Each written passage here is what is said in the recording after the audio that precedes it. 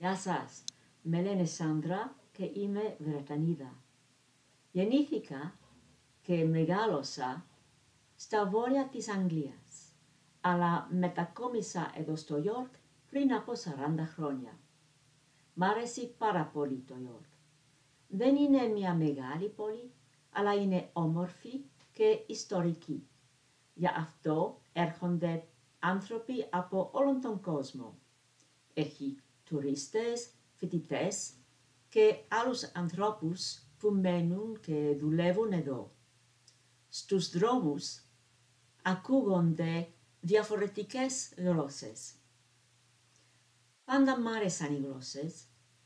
Ακόμα και στο σχολείο ήθελα να μιλήσω με άλλους ανθρώπους στη δική τους γλώσσα. Ε, σπούδασα Ισπανικά και Γαλλικά στο Πανεπιστήμιο και έγινα καθηγήτρια. Δούλεψα 20 χρόνια στο Ιόρκ. Δίδαξα Γαλλικά και Ισπανικά και Αγγλικά σε μαθητές από άλλες χώρες.